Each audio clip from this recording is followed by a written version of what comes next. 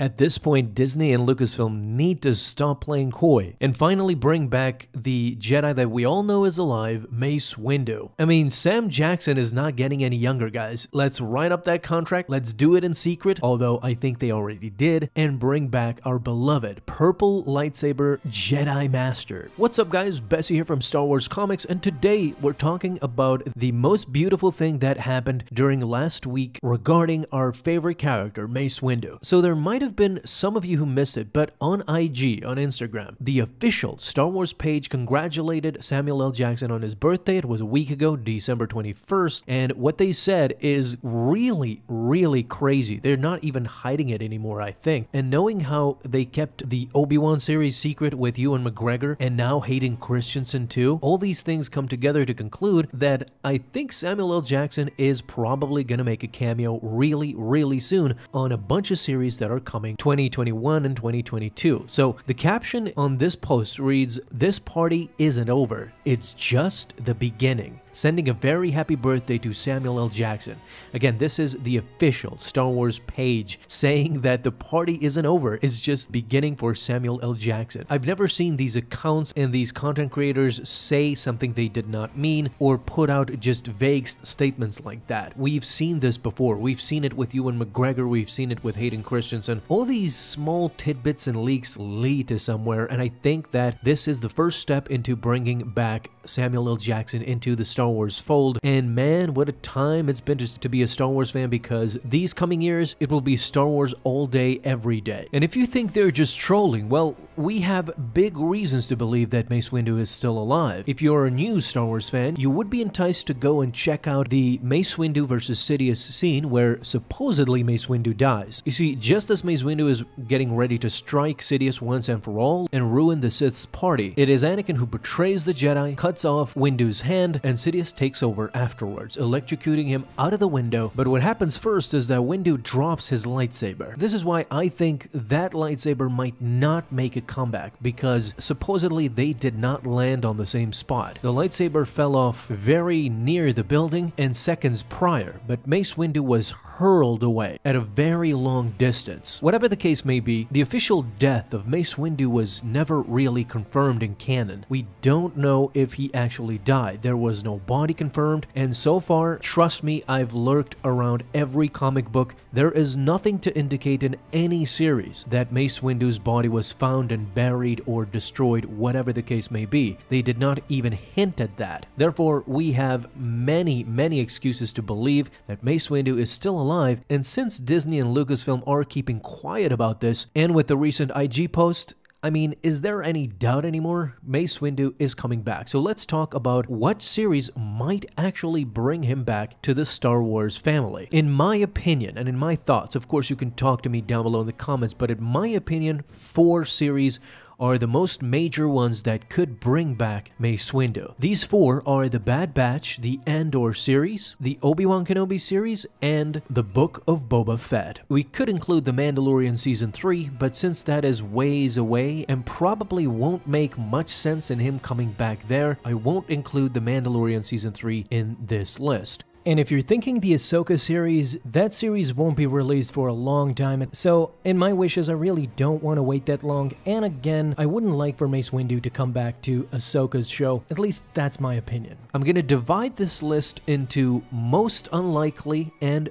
very likely. Both of these lists have two shows on them. Let's start with the most unlikely series that could present Mace Windu in canon again. These two series are The Bad Batch and the Andor series. I don't want to make any definitive statements for you guys to come back a year later and mock me, but I really don't think Mace Windu would make a cameo in The Bad Batch. While Mace Windu is a very prominent character in the Clone Wars series, and The Bad Batch is basically a continuation of that, there is no reason for us to believe that The Bad Batch could possibly run into our beloved Jedi Master. The Andor series is most likely the same way. Cassian Andor has virtually no no connection whatsoever to Mace Windu. That series has practically nothing to do with the Jedi, similar to how Rogue One was as well. So these two series do not make sense for Mace Windu to make his final great comeback. What I think, or what I would believe, in fact, if somebody would have told me,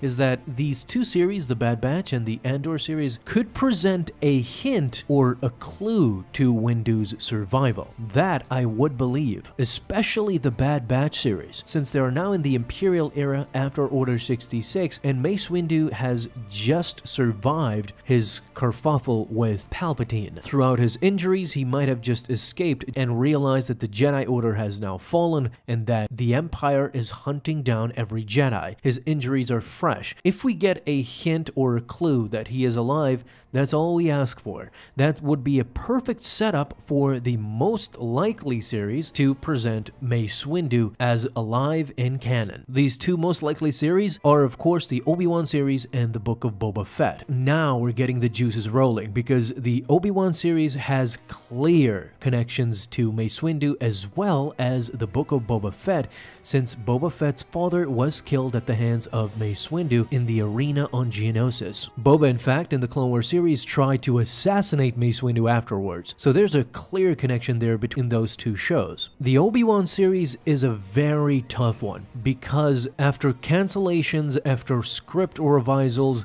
they went through a lot of turmoil during the development of that series, and it was revealed that it was a six episode arc, and then, to make matters worse, they reduced it to a four episode arc afterwards. So, this leads us to believe that the time span is very short in that series, or at least the time duration of the episodes would likely be one hour or less. These are very compact episodes. Everything needs to happen quickly and have an impact. One possible explanation to Mace Windu's return in the Obi-Wan series could be related to old Ben Kenobi leaving Tatooine with Mace Windu. It could be possible that Mace Windu tracks down Ben Kenobi, or as he knows him, Obi-Wan Kenobi, and explains that there is a grave mission they need to adhere to something possibly with Darth Vader and the Empire. Since we already know the show probably won't won't take place on Tatooine at all times, Obi-Wan needs to go off-world and leave Luke Skywalker for a short amount of time. Of course, the original trilogy shows us that they will ultimately fail. If Mace Windu remains alive after the Obi-Wan series, he will be angry and vengeful. He will remain a bitter old man to the end. And that is if he survive, if he's not killed while Obi-Wan will just fold back to Tatooine, living as an old hermit, having both failed at their mission. And now we've come to the Book of Boba Fett. We've seen the Mandalorian series keep a tight lid on things. Jon Favreau and Dave Filoni are masters at that, and they have proven it time and time again. They proved it with Grogu, with Baby Yoda. In the first episode, we had no idea what was in store for us, and in the end, we were revealed to have a Baby Yoda in our midst. The internet went ablaze, everybody went crazy, but nobody had an idea beforehand. And they did it again in this season with the finale. Season 2 showed that Luke Skywalker came back to take Grogu for training. Nobody leaked, nobody said a word beforehand. So they are proven. And, and I believe that if there's a show that could keep a secret that Mace Windu is coming back, it would be the Book of Boba Fett, since the same crew is heading that series as well from The Mandalorian. His return there, of course, would be related to Boba Fett himself. Boba Fett now helming the throne of the Hutts has the enormous resources that nobody really could achieve, and in doing that, he might get news of a Jedi he has sought for his entire life. He has personal vendetta against this person, and this is Mace Windu. If there's a time for Mace Windu to come back, it would be in this series. Boba Fett against his old nemesis Mace Windu, the person who killed his father. This would be the ultimate showdown. We've always seen Jedi versus Sith, but a Jedi Master against a supreme bounty hunter. I think this would be the ultimate showdown that we have so waited. These are my thoughts, of course. I would love to know what do you guys think as well about all that I said. Thank you guys so much for watching this video, and if you enjoyed, leave a thumbs up down below, subscribe for dailies. Now you have an awesome day, Star Wars fans. I'll see you in the next video, and may the Force be with you. Until then.